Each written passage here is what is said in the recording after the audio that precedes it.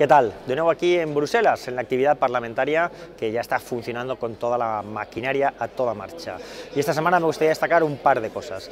En primer lugar, eh, un debate que ha tenido lugar en la Comisión de Agricultura, una cuestión desde nuestro punto de vista muy negativa. El Parlamento Europeo estuvo trabajando durante toda la legislatura anterior y ya estaba a punto de concluir un informe, una petición para que la Unión Europea, la Comisión Europea, se comprometiera a poner en marcha un programa de compra de productos hortofrutícolas fruta y verdura y leche para suministrarlo a los colegios públicos. Con esto ganábamos dos cosas. Por una parte, que los estudiantes, los niños de las escuelas pudieran tener acceso a una dieta equilibrada y a unos productos que están desapareciendo de su dieta, porque estamos cambiando hacia una dieta que incorpora mucho producto con mucha grasa, con mucha eh, manufactura, con mucho trabajo artificial. Recuperábamos eso, una dieta saludable, unos productos sanos y además comprábamos productos a los productores locales, a los agricultores que tanto lo necesitan, a los agricultores de las zonas de influencia de esos colegios y también a los productores de leche, porque la cuota lechera se acaba en el mes de abril y la crisis se ve venir. Era una forma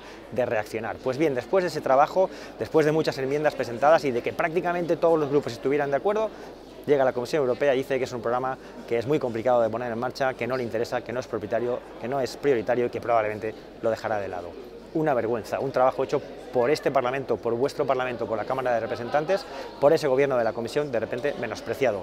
Hubo un enfado general de todos los grupos políticos, vamos a seguir batallando, vamos a seguir trabajando en ese informe, en ese reglamento, para que llegue a ser una realidad. Es prioritario y es necesario. Y el segundo tema que quería destacar, que creo que todos conocéis, es que hemos estado aquí, en el Parlamento Europeo, con una comisión de los afectados por el virus de la hepatitis C. No hace falta que os cuente más, tenéis muchísima información. No es una cuestión no es una cuestión urgente, es una cuestión vital, de vida o muerte. El gobierno español tiene que facilitar esos medicamentos a las personas que si no están sentenciadas. Y detrás de todo esto hay también una cuestión muy europea, la lucha para conseguir que los medicamentos lleguen a los pacientes a unos precios aceptables, la lucha contra el lobby de las grandes industrias farmacéuticas que tiene mucha presión aquí. La Comisión Europea, por ejemplo, siempre ha estado de su lado.